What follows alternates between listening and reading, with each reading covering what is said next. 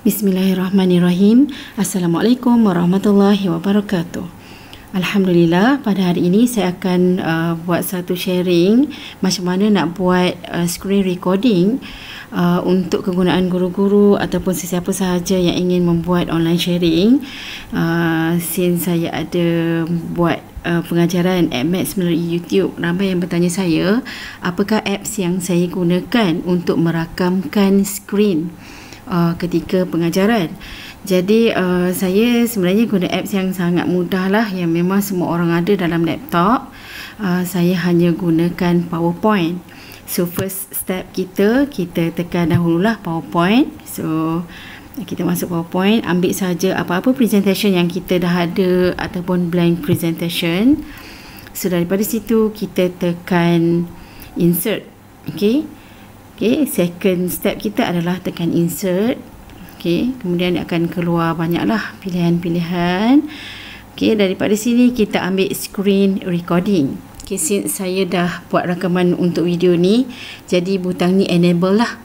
Okay, bila saya tekan screen recording, dia akan keluar macam ni. Okay, ini yang akan keluar apabila kita buat screen record. Okay.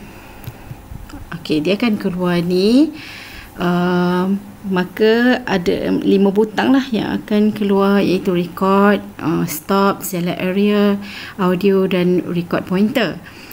Uh, yang first kali kita mesti select area dululah. Okay, kita select area.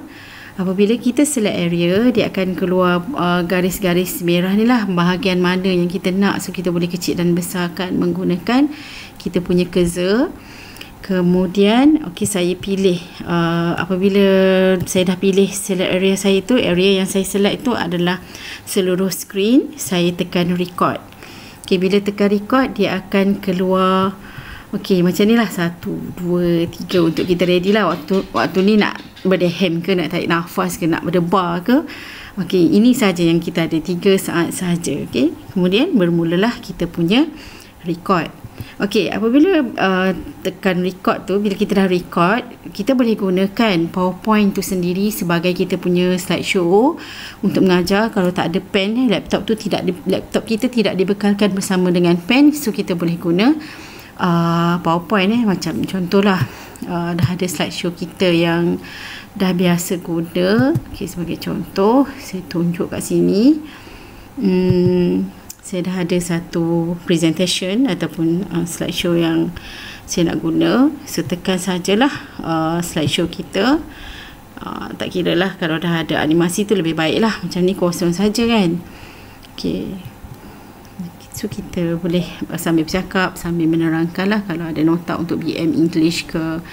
Um, kalau Maths pun ada step-step dia So tak payah risau kalau tak ada pen. Masih lagi boleh mengajar seperti biasa. Okey, um, kemudian saya tak gunakan Sebenarnya saya tak gunakan sangat uh, PowerPoint pun untuk mengajar. Saya banyak gunakan PDF So saya dah save PDF saya. Sebagai contohnya Kalau PDF saya ambil kat sini lah Saya dah save um, Presentation tu siap-siap uh, tak kira lah nak save atas nama apa kan.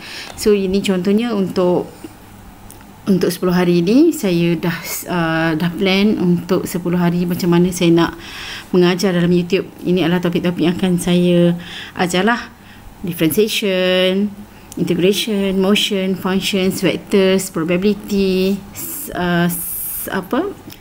Solution of triangle. Ini untuk 10 hari sempena um, cuti RMO COVID-19. Okey, um, saya juga gunakan presentation yang saya dah save dalam bentuk PDF juga iaitu saya dah buat blackboard siap-siap untuk memudahkan saya menulis. Okey, sebab saya punya PDF ni boleh uh, pilihan untuk pen. So saya boleh menulis lah kalau saya nak buat penyelesaian ke saya nak ajar step-step uh, at maths So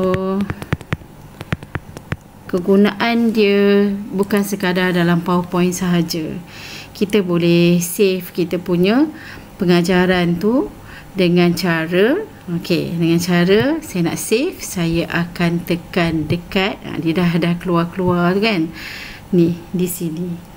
Uh, dekat butang biru ni lah dekat butang stop. So apabila saya stop um, ini yang akan terjadi seterusnya. Ok dah stop. Ok saya stop. Kemudian uh, dia akan save balik ke dalam uh, presentation kita tadi lah dalam powerpoint kita. Ini bentuk dia video yang terhasil. So kita boleh tengok dia punya kita boleh uh, replay balik lah boleh dengar balik pengajaran kita. Nak rakam balik ke nak edit nak apa potong kat mana-mana nak pendekkan pun boleh. So selepas itu kita take, uh, save as media eh, tekan butang klik butang kanan pada video ini. Uh, so dia akan keluar save as media. Kemudian save lah. Ok nak save dekat mana? Dekat uh, desktop ke? Dekat apa-apa folder yang dah disediakan Uh, kemudian namakan saja terpulang dah nak letakkan nama, nama apa based on apa yang kita dah rakam lah. Okay, kalau saya buat kat sini screen record dan saya save. Okay. Uh, itu hasil dia.